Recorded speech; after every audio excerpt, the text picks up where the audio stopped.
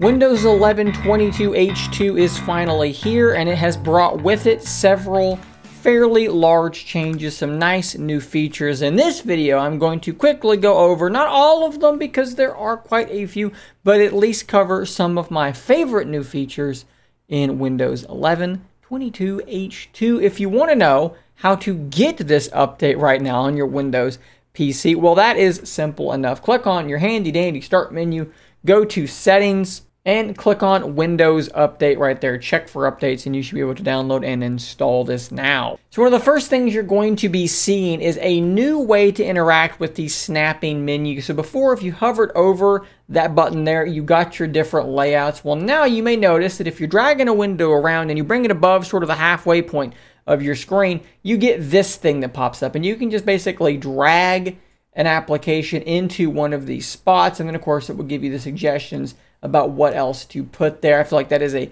pretty handy new feature to have. You may notice that I have tabs on my File Explorer. That is not coming to the stable channel for a little while longer, so ignore that, although it is absolutely fantastic, and I would uh, no longer like to live my life without it, but again, that will be coming in a later update. Some other things that are here now are some new touchscreen gestures. Now, I'm not filming this on a touchscreen, so I can't really demonstrate this, but Swiping up from the bottom is going to give you your start menu. Swiping in from the side will give you the notification center, which I can show you what that looks like. At least if I do that, that's your notification center. So swipe in from the side and it will actually follow your finger. Now it's not a set animation. It actually moves with you. That is quite cool. If you swipe up from uh, right next to that where some of your taskbar icons are, you'll get your quick settings. So just a lot of new swiping gestures that are really nice to see, and they all feel really nice and fluid. There's sort of inertia involved, really good stuff.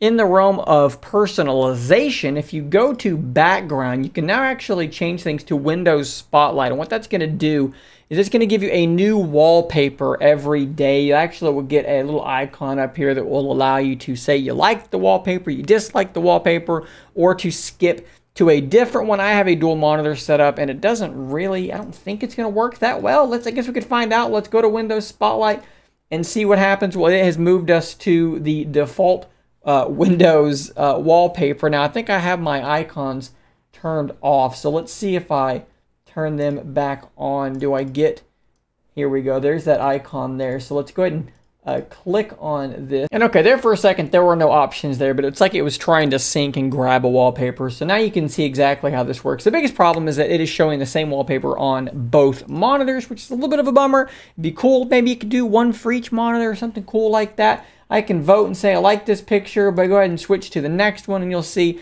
there's a nice sloth. We'll leave the sloth on there for now. You should also have a couple new applications here like Clipchamp, which is a web app that is a video editor. It's okay. They've recently changed their tiers in terms of like how you're going to be paying for this thing and giving some better options in terms of the free tier up to 1080p, free stock, free filters. I mean, this is actually somewhat usable now. And it's like I said, it's a web app, so it's all kind of done in the cloud to some degree, and it's okay. I mean, it's a free, you know, little video editor. There's another one here called Family Safety, I believe, and I think it's something. Uh, yeah, there it is, Family. And it is another web app, and it's, you know, if you have a family account and people in your quote unquote family, you can sort of see what you can do here. Uh, watch for purchases on a child account, screen time limits, things like that. Nothing too crazy. A really nice new, it's not a new application, but it's a new look is the Task Manager, which looks totally different now. Totally, totally redesigned. It fits the new uh, styling of Windows 11. You've got several screens here that you can move between. Uh, history, startup apps, different users, details, services, and then you can see for the settings what you're allowed to do there. Now, while the taskbar is still not like movable or anything cool like that, they have added the ability to drag things into it. I, I, guess this wasn't a thing you could do before. From what I've read, you can grab that file and drag it into the taskbar and into an application. I, again, I'm not, I, I guess it's not something I ever really used. I didn't notice that it was missing, but apparently it was, and now it's here. And there's some cool stuff on the start menu too. So you can grab different applications here in your pinned apps and you can actually throw them into a folder now. So I can drag those together and call that YouTube.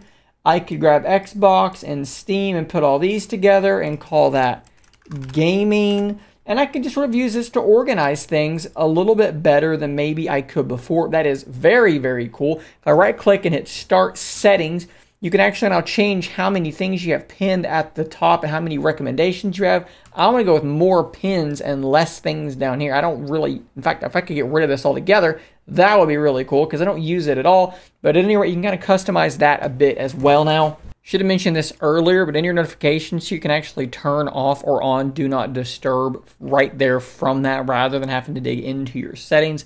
Under accessibility, under accessibility and captions, we now apparently have the ability to do live captions, which you can just sort of put anywhere and it will listen to what you're watching or listening to and give you captions at any point. This is actually pretty cool. It seems to be doing a pretty good job of being accurate we also have something under speech called voice access, which is pretty neat too for those of us that may be impaired in some way. What this is going to allow us to do is to use our microphone to control our computer. So let's go through this guide here real quick. it's asking me to say, voice access, wake up. Now, one problem that I'm already running into here is the fact that it doesn't seem to be working on my second monitor. So let me reorganize things a little bit and I'll bring you over to the other screen. Click Animal Friend. Click Cat. Show numbers here. Click 11.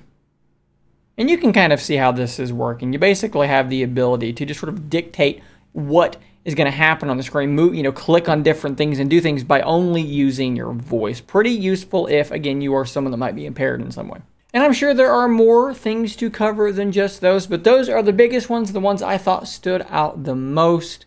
Guys, thanks for watching. Don't forget to subscribe on your way. I will see you on the next one. And until next time, stay nerdy, my friends.